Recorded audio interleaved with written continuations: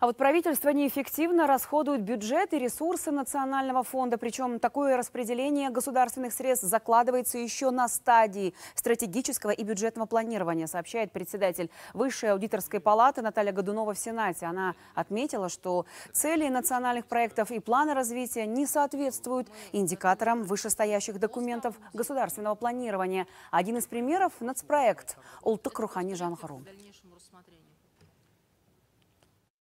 Целевой индикатор стратегического документа – уровень поддержки населения мер государственной, молодежной и семейной политики. Показатель проекта – доля учащейся молодежи, вовлеченной в волонтерскую деятельность.